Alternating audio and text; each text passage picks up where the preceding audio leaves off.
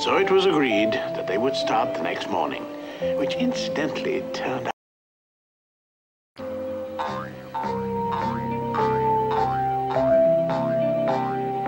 Pooh, as usual, had a little something along to sustain himself.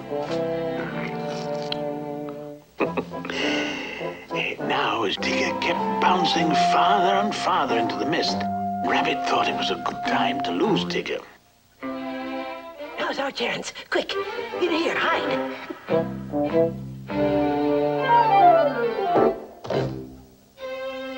Tigger's lost now, isn't he, Rabbit? oh, he's lost, all right, Piglet. oh, goody. This is lots of fun, Pooh.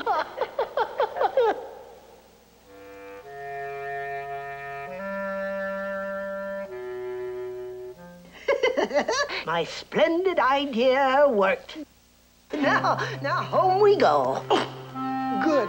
Yum, yum. It's time for lunch. Hello! Oh, my goodness. Hide. Hello!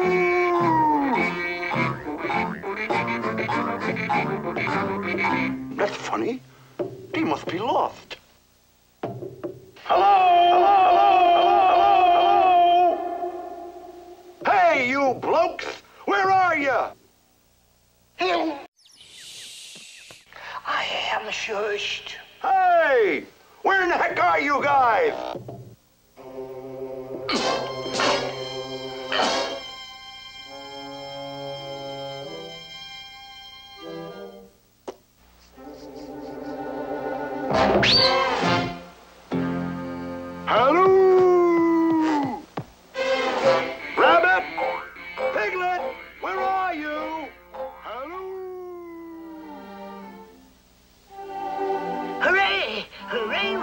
now, come on, hurry. Let's head for home.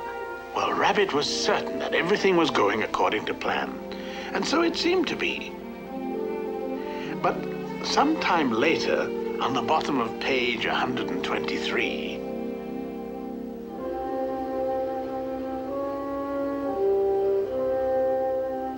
Hmm. It's a funny thing how everything looks the same in the mist. He's right, Piglet. It's the very same sand pit. I think so too, Pooh. Well, it's lucky I know the forest so well, or, or, or we might get lost. Well, come on, follow me.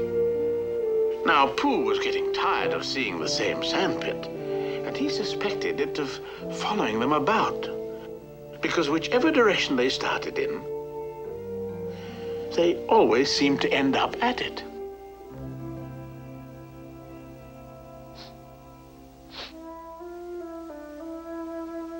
Uh, Rabbit? Yeah? Uh, Say, Rabbit, how would it be if, as soon as we're out of sight of this old pit, we just try to find it again? Well, what's the good of that?